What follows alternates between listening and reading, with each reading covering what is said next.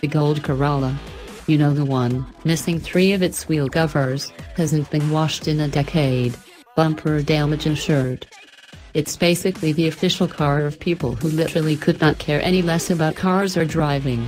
This is mentioned because we got stuck behind one during the 2019 Toyota Corolla hatchback first drive, and it was about a mile before it sunk in that the two vehicles actually share the name and common lineage, it was inconceivable.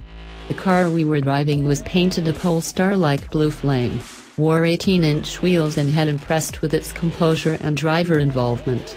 The bumpers remained unscathed, this new Corolla can actually be owned by someone who cares about cars and driving.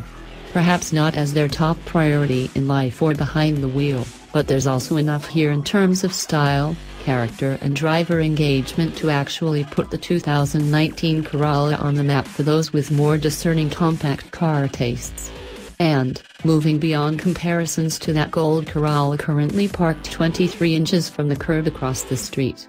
The latest version is also a definite improvement over its immediate predecessor and showcases what we can expect when its sedan sibling arrives in the not-so-distant future. Here's a comparison with the Corolla and other compact hatchbacks.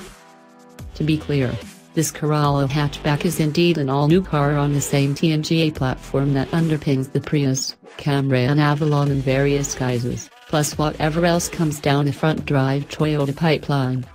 Exterior